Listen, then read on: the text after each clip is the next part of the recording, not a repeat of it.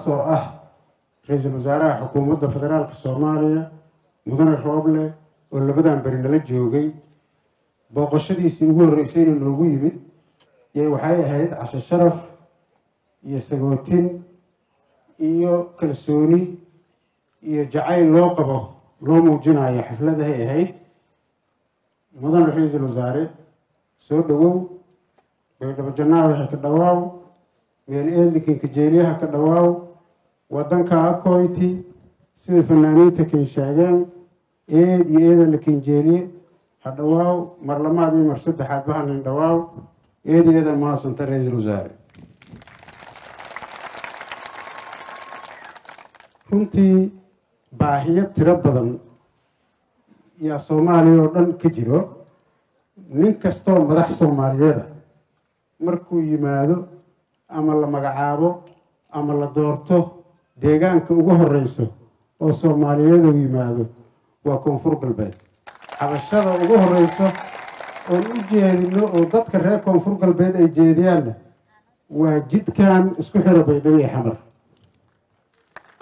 Kama caajisayno ma joojinayno madax kastoo noo timaadana waa u sheegaynaa adigana naga guddoon baahidaanada ugu badan waxaa weeye jidadka isku xiro koonfur galbeed iyo caasimadda soomaaliya oo ah baraawo iyo afgooye baydhabo iyo xamar baydhabo iyo xudur baahida ugu badan oo ay dadka reer koonfur koonfur galbeed ay qabaan waa taas weeye.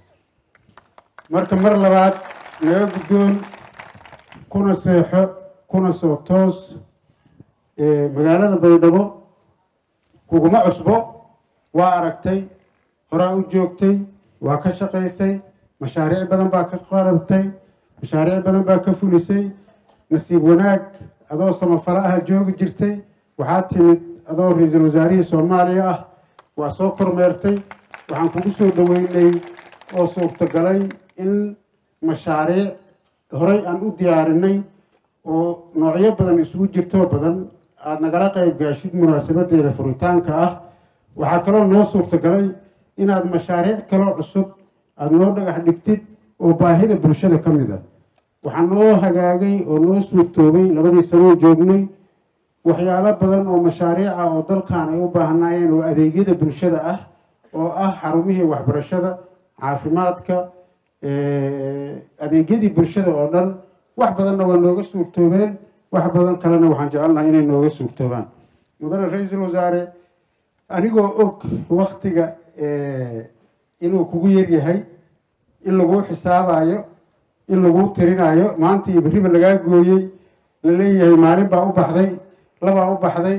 Haddana wixii mas'uuliyaddaada ah iyo awooddaada dowladeed ah inaad qabato ayaan kaa rajaynaynaa dadka reer koonfur galbeed waa dadka soomaaliya ugu jecel dowladnimada iyo nidaamka iyo kala dambeynta. Aaminsanna in midnimo soomaaliyeed la helo dowladnimona lagu wada noolaado dalka iyo dadkana loo turo. Dadka soomaaliyeedna ay helaan dowlad ay ku naaloodaan oo dalkeedii dadkeeda maamusho. Dadka ugu jecel oo dowladnimada ugu jecel waayo. Marka waxaa ku ogaan kartaa qof kasta oo madax soomaaliyeed oo yimaado waa magaaladii soo dhaweynta waa magaaladii maxay ahayde martiqaadka waa magaaladii ixtiraamka waa magaaladii sharafta. Waa dadkaa u samaysan waa dadkaa dowlad jacaylka u samaysan waa dadkaa waxay u samaysan yihiin calan jacaylka oo dadkaa waxay u samaysan yihiin wadaniyadda iyo dal jacaylka. Marka ku soo dhawow nin kastoo madax soomaaliyeed ahna intaasaan faraynaa waxaan aada iyo aada ugu kalsoonnahay oon u jecelnahay mar ay noqotabo inaan gaari doono riyada iyo rajada ay leeyihiin dadkan reer koonfur galbeed oo ah inay helaan isu socodkii jidadka mar ay noqotaba dadaalka aan wadnayna ka mid tahay ilaahay idankiis annaga oo la kaashanayno cid kasta oo awoodo oo ugu horeyso dowladda federaalka iyo hay'adaha kale caalamiga ah ee security-ga ka shaqeeya ugu horeeyaan amisom marka dadaaladeedina waa wadnaa waxaan rabnaa in nagula garab istaago oo la wado. Mudane ra'iisul wasaare intaas waa intii dardaaranka ahayd oo adigii iyo dowladdaadaba aada naga qaadi doontaan. Horeyna aan u aragtay magaalada waxa ka jiro. Markii intaas laga gudbo dee sida aan horey kuugu sheegay waa tan waktiga lagu tirinayo dalka soomaaliya wuxuu galay doorasho.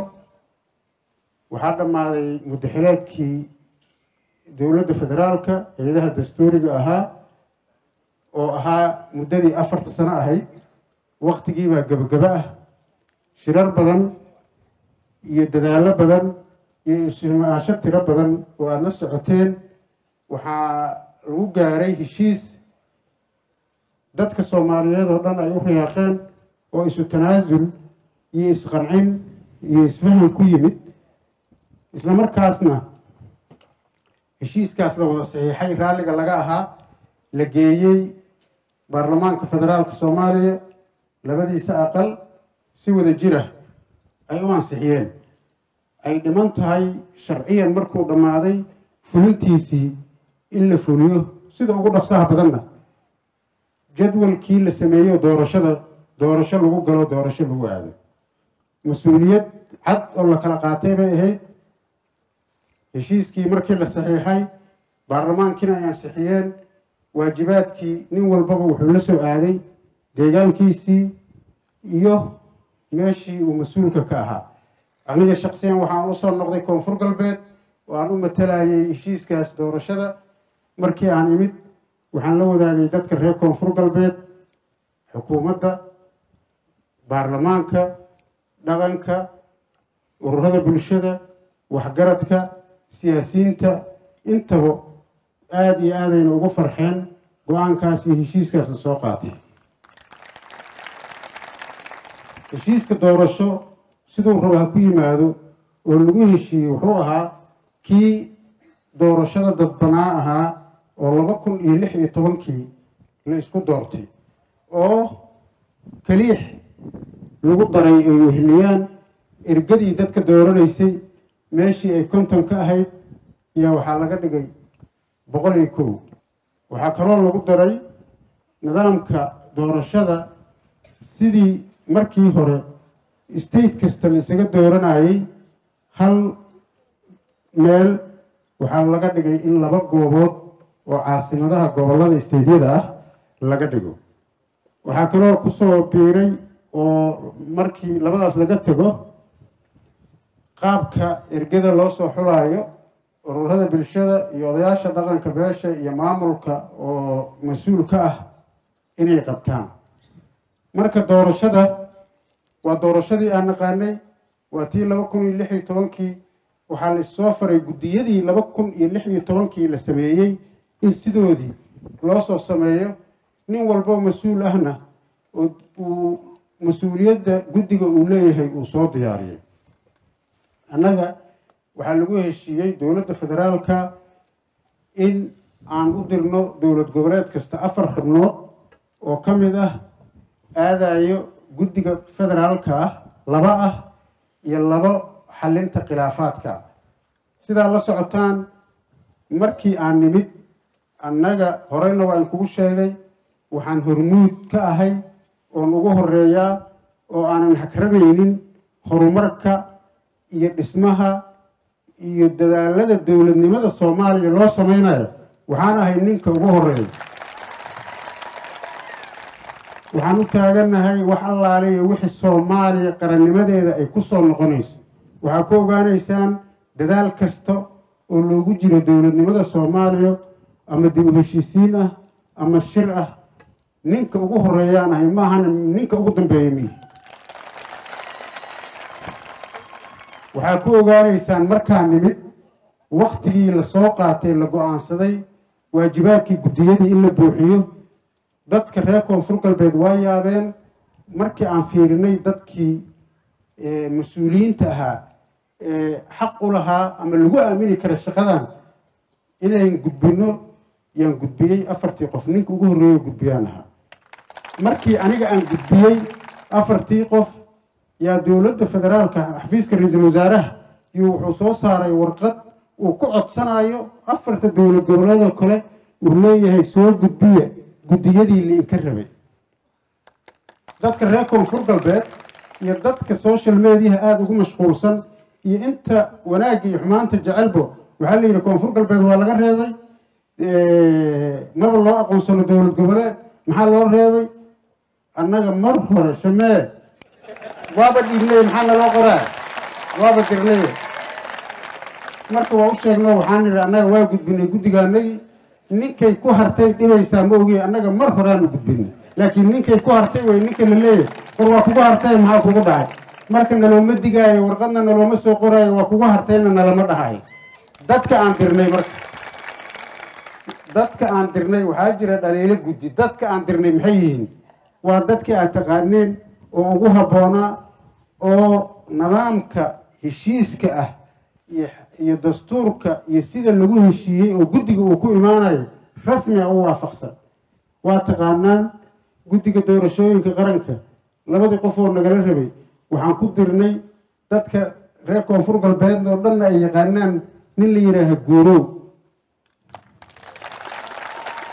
guurow waa taqaanaan waa ganacsado reer baydhabo ah waa siyaasi hore waa nin xilal badan dalka ka soo qabtay waa gobernatoore ka soo noqday gobolka bakool xildhibaan federaalka soo noqday wasiir soo noqday soomaaliya oo dhan taqaano. Haddana aanan wax xil ahaynin ganacsato soomaaliyeed oo u taagan dowladnimada ahaa yuu ahaa ninka ugu horreeyen qornay. Ninka labaadna wuxuu ahaa nin aqoon-yahan ah oo reer koonfur galbeeda oo aad taqaanaan oo liibaan la yidhaaho oo naga kaalmeynayay arrimaha dastuurka iyo sharciyada.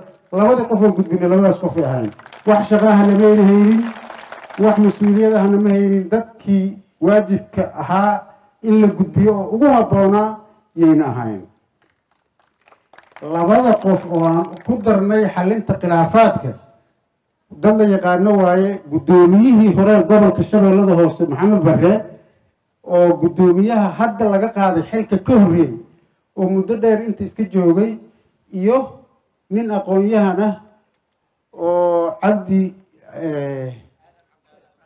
maya waxaa la yidhaahaa cabdi maxamed sheekh la yidhaaho oo reer ingiriiska ah oo reer koonfur galbeed ah oo asagaba waqti yar joogay yaan asagana dirnay. Waxay caddaynaysaa marka aan tillaabo qaadayno inaan ka taxadirayno heshiiskii lagu soo heshiiyey oo ahaa qofka ka mid noqonayo guddiga inuu yahay qof mas'uuliyaddaas qaadi karo wax xil ahna aanan haynin loo qaateerna ah bulshada dhexdeedana sumcad iyo sharaf ku leh lana aamini karo inuu yahay. Dadka reer koonfur galbeed oo dhanna waa ku qanacsan yihiin waana ku faraxsan yihiin kulligoodna waa iga hambaliyeeyeen guddiga isaga ahaa sidaasaan u dirnay oo dadka ugu horreeyey oo diray baana markii intaas laga tago waxaa kaloo sharciga heshiiska ku jiray inaan isagana sidaasoo kale guddi sideed xubnood ah oo guddiga dowlad goboleedka ah kaas waa kii federaalka kanna waa kii stateka inaan soo saarno oo shaqadii hoose ugu muhiimsaneyd guddiga qaban lahaa. Haddana ayadana ninkii ugu horreeyey sorry waxaa iga horreeyey saaxiibkay waare. Ninkii ku xigay oo soo saaray baan ahaa guddiga isaga ahaana waa gudbinay dad sida hadda aan idiin sheegay oo kale ah oo aqoon-yahano ah oo dhallinyaro ah oo reer koonfur galbeeda oo dadkii ugu mudnaa ah yaan gudbinay oon ugu gudbinay ra'iisul wasaaraha. Wax marka shuruudihii guddiga ahaa oo lagu dhinaa ma jiro annaga oo u diyaar garoobayno heshiiskii lagu heshiiyey inaan fulino siduu ahaana aan u fulino siduu ahaana ugu dhaqan galo wax daleyda ama daah ah ama dib u dhacahna uusan dhicin aan ka fikirayno yaa waxaan go'aansanay tillaabo kasta oo lagu heshiiyey inaan waktigeedi ku qaban oo waktigeedina aan ku gudbino sidaa la socotaan markii guddi la sameynayo annaga doorashadii waa joognay laba kun iyo lix iyo tobankii. Hadda markaan sameyneynay ilaa waa sidii wixii aan horey u soo marnay waaye dad badan oo saaxiibo ah yaa waxay iga codsadeen in guddiga qof ayaga ay yaqaanaan ama qaraabadooda a lagu daro. Waxaan ku qanciyey kan aan keenaya annaga dhanbarna wada anfacahay maxaa yeelay cadaalada laga rabaa isagaasaa cadaalad samaynayo. Marka adinka oo dhan la idinma heli karo inuu nin walbaba qof keensado oo guddiga loogu daro. Sidaas darteeda mas'uuliyaddii aniga la i saaray waxaan u gudanayaa siday ahayd dadkii ugu habboonaa oo heshiiska ku qornaa oon wax shaqo ahna haynin wax xil ahna aan haynin shaqadaana ka soo bixi karo una diyaarsan yaan keenayaa ku raalli ahaada. Marka ma dhibsanin muhiimna ma aha guddigeed. Waa cadaalad in la helo dadka dadka adiga ku soo dooranhayo iyo guddiga shaqada uu qabanayo inay shaqo hufan ahaatoo lagu kalsoonaado yaa muhiima. Marka waxyaalaha laga hadlaayo oo guddiyada oo laga sheekeynaya iyo dadka cabashada qabo oo guddiga ka cabanaya oo madaxdii hore ah waxaan ka codsanayaa intay keligood meel fadhiistaan wixii ay soo sameeyeen.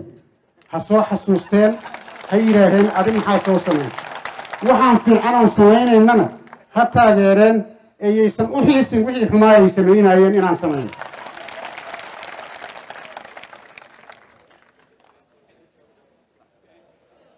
Waxaan ogahay oon ku kalsoonahay dadka reer koonfur galbeed oo samaha jecel oo wanaagga jecel oo wanaagsan noocyadooda kala duwan oo siyaasiyiinta leh oo odayaasha dhaqanka leh oo xadda xilalka hayoo xildhibaanada ah iyo kuwa kale oo rabaan inay tartamaan. Intaba inay ku kalsoon yihiin guddigaas aan samaynay iyo maamulkooda koonfur galbeed. Ayna ka heli doonaan cadaalad iyo doorasho xor iyo xalaal ah oo transbaranti ah oo ay ku kalsoon yihiin deegaankooda. Taasaan aaminsanahay min dhaqan ilaa iyo dhallinyaro iyo aqoon-yahan qof kastoo reer koonfur galbeeda waa ogahay oo wanaagga jecel oo aan xanuunsanayn inuu ku faraxsan yahay waxa aan samaynay uuna ku qanacsan yahay raallina uu ka yahay doorashadan inuu ka heli doono cadaalad doorasho feera xor iyo xalaala nabad ku dhacdo lagu kalsoon yahay inay imaan doonto. Waxaa ogaanaysaan dadka soomaaliyeed meel walbay joogaan aan u sheegayaa un ballanqaadayaa aniga ma garanayo toddobaatan iyo toddoba xildhibaana inta lagu dooranaya xildhibaanka waxaa dooranayo beeshii kursiga iska lahayd boqol iyo kow qof oo ka mida. Ninkii noqon doonana ilaahay baa yaqaano xilka iyo darajadana ilaahay baa bixiyo aniga ma bixiyo. Annaga waxaan fududaynaynaa maamulka iyo guddiga doorashooyinkaba inay doorasho sidaan hore u ballan qaaday xor iyo xalaala dhacdo cidnana aan lagu dulminin. Nin walba ha ku kalsoonaado ilaahaygii abuurtay iyo dadkiisa iyo deegaankiisa iyo maamulkiisa ha ku kalsoonaado. Intaas way waxa annaga nagala rabo facilitiga maahan annaga waxba ma qorayno waxnama dooranayno markaan intaas ka gudbo waxaan rabaa sidii heshiiska uu ahaa waktiga wuu socdaa in dadka soomaaliyeed iyo madaxda annagana la midka ahoo dowlad goboleedyada aan si aan u dhabayno heshiiskii la soo gaaray iyo jadwalkii rasmiga ahaa oy doorashadii u dhacdo uusan dibidhac u imaanin in la ilaaliyo waktiga shaqada sidii ay ku socotayna loo socdo madaxda kale ee soomaaliyeed ee saaxiibada annadoo kulliiga ah ee aanan guddiga ka soo dhammaanin ay guddi lagu kalsoon yahay oo ay ku faraxsan yihiin ay noo soo diraan tababaradiin uu bilaabo sidii heshiiska ah bishan hadday dhammaato december wuxuu ahaa qorshaha shan iyo tobankiis ilaa iyo tobankiis in aqalkii sare doorashadiisa ay bilaabato annaga marka diyaaraan u nahay guddigii waa gudbinay waxaan sugaynaa tababaradii iyo sabinaaradii waxaan sugaynaa diyaargarowgii sida annada kale waa u diyaarsannahay baarlamaanka annagii koonfur galbeed waa joogaa odayaasha annadii dhaqankii waa joogaan siyaasiyiinta annadii waa joogaan ururadii bulshadii waa noo joogaan. Cid kastaoo tala naga mudnayd waa joogtaa. Ayagana waa kala tashanaynaa oo dad isku xiran baa nahay. Marka waxaan rabnaa si doorashadii waktigeedii ugu dhaco in dardar la geliyo dowladda federaalka iyo dowlad goboleedyadaba sidii lagu heshiiyey heshiiska uu ahaa inay ku socoto shaqada oon ku fulino. Taas way tanaan codsanayno midda kale markii doorasho ay dhacayso sida hadda aan ka soo sheekeeyey oo doorashada la aadayo waa iska dhaqan soomaaliyeed. Waxaa jirta baqdin tiro badan waxaa jira walaac tiro badan waxaa jira shaki tiro badan oo ah wax annaga keligeen lagu koobanna ma aha waxa dunyada dhan ka jira waaye. Waa la shubanayaa waa lagu shubanayaa waa la isku cabirayaa waa la boobayaa waa la qaadanayaa waa la iriixayaa waa la iisoo jeedaa. Waa walaac wey waxaan rabaa marka dadka soomaaliyeed gaar ahaan siyaasiyiinta soomaaliyeed meel walba ay joogaan annaga waajibaadkana saaran waxay tahay inaan baarlamaan soo saarno baarlamaankaas mas'uuliyaddaa saaran musharaxiin madaxweyneha imaan doonto ayagana waxaa laga rabaa inay baarlamaankooda ay sugaan oo baarlamaankaasna mas'uuliyaddiisa u qaato oy kala hadlaan sidii lagu dooran lahaa. Wax hadeertaan cabir samayn karo iyo qof maanta doorashada berita dhici karta isku cabiri karo iyo qof siday tahay sheegi kara male ilaahay u ba'o marka nin kasta oo siyaasi ah oo walaac iyo qabo shaki oo aaminsan in eex iyo ay imaanayso naf jeclaysi iyo qof jeclaysi waxaa nooga muhiimsan waxaasoo dhan dalka. Waxaan rabno waa dowladnimo waxaan rabno waa cadaalad waxaan rabno waa horumar. Waxaan rabno waxaa weeye soomaaliya oo dhisanto oo dowlad hesho. Ma ahan qof. Horumarkaas yaa muhiim ah. Muhiimadda aan rabno taas waaye. Waxaan rabaa marka dadka soomaaliyeed meel walba ay joogaan si waktigii doorashada ay ku dhacdo siyaasiyiinta iyo cid kasta oo walaaca qabto inay ilaahaygooda ku kalsoonaadaan darajada iyo xilka ilaahay baa bixiyo. Annagana ilaahay idankiis mas'uuliyaddana saaran sidii aan horeyba ugu dhaaranay oon waajibka u qaadanay yaan u fulin doonaa annagoona cidna jeclaysanaynin cadaaladna waa samayn doonaa waana waa noo sinaan doonaan dadka dhan. Sida uu maanta aan ka dhageystay cabdiraxmaan cabdishakuur four pointy five iyo annagoonan aadin waa idiin simannahay musharaxiinta waa suukaana mid waa dad soomaaliyeed. Nin walba nasiibkiisuu qabaa. Ninkii ilaahay nasiibkiisa ka dhigaan la shaqaynayna annaga dowladnimaan u taagannahay waxaan rabnana waa dowlad soomaaliyeed oon dhisayno marka si gooni ah waxaan rabaa inaan inta fariin oga diro saaxiibaday oo arrimo shaqo iyo daruufo siyaasadeed iyo caafimaad isugu jiro. Dalka uga maqan inaan idhaaho intii xanuunsan allaha caafiyo laakiin dowlad goboleedyada dhiman oo guddiga uu ku dhiman yahay in waxaan ka codsanayaa sidii aan hadda horey u sheegay si heshiiskii iyo shaqadii ugu dhaqan galo inay ayagana sida ugu dhaqsaha badan ay u soo dhammaystiraan guddiyadii shaqadiina ay u bilaabato doorashadii dalkana uu doorashadii uu galay. Aan ka dhamayno oo aan la gelin firaaq siyaasadeed iyo firaaq dawli uusan dhicin boosashinada la buuxiyey annaga shaksiyan sidaan hore inkugu sheegay waxaan diyaar u nahay dowladnimada soomaaliya waxaan diyaar heegan u nahay mar walbaba inaan dhismaha soomaaliyeed aan ka ahaano cidda ugu horeyso oo oo maxay ahayde qaban doonto inaan ka noqono yaan diyaar u nahay. Intaas kadib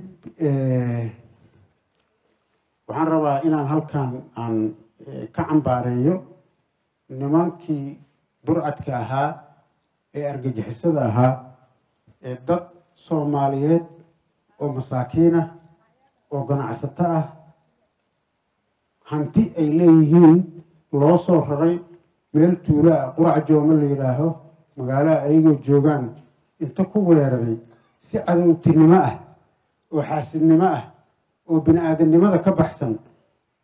Hantidii dadkii masaakiinta ganacsatada ahaa oo dhaqmay oo baabi'iyey oo gubay macalin gaadiidkii macalin hantidii runtii waxaas iyo wax ka xun baa laga fili karaa shabaab. Nin walboo soomaali ah waxaan rabnaa inuu ogaado xumaanta iyo nacaybka ay u qabaan dadka soomaaliyeed. Meel walboo la joogana loo diyaar garoobo oo la iska celiyo oo loo kaco oo aanan la isku fiirsanin cadownimadooda iyo dhibaatada ummadda ay ku hayaan. Mar dambena aan la aqbalin marka waxaan rabaa inaan inta aan aan iraaho dhibkaan in la qabnaa waa in la qaybsanaynaa hadduu ilaahay yidhaahana dowlad goboleedka koonfur galbeed way idiin soo gurma doontaa khasaarihii ku dhacay dadkii reer xudur oo hantidooda la gubay ganacsatada ahaa. Ilaahay idankiis dowladda federaalkana waxaan ka codsanaynaa inay caymiyaan. Annaga dowlad ahaanna waa cayminaynaa dadkaas cayr cayrtii la ceyrteeyey ugama harayno waana garab istaagaynaa waxbaana ku bixin doonaa hadduu ilaahay yaraa insha allahu tacaala ugu dambeyntii waxaan rabaa halkan inaan tacsi uga diro dadka soomaaliyeed meel walba ay joogaan gaar ahaan ciidamada qalabka sido nin ciidanka ka mid ahaa soomaaliyeed madaxda soomaaliyana ka mid ah oo ku dhintay dalka turkiga genaraal khaliif ciise mudan oo nin la yaqaano soomaaliyeed xilal badanna dalka ka soo qabtay genaraal soomaaliyeed ahaa reer puntland ahaa inaan waxaan rabaa tacsi halkan oga diro oon idhaha ilaahay ha u naxariisto dadka soomaaliyeed guud ahaan iyo dowladda aan uga tacsiyey gaar ahaan dadka reer puntland aan uga tacsiyeeyo madaxda iyo shacabkaba saciid genaraal saciid ciise mudan marxuum. Ilaahay ha u naxariisto samri imaan allaha naga siiyo dadka soomaaliyeedna samri imaan allaha ka siiyo ehelkii iyo qaraabadii uu ka dhintayna samri imaan allaha ka siiyo. Intaasaan ku soo gabagabeynayaa waxaan ku soo dhaweynayaa ra'iisul wasaaraha xukuumadda federaalka soomaaliya mudane ra'iisul wasaare soo dhawow asalaamu calaykum waraxmat ullaahi wabarakaatu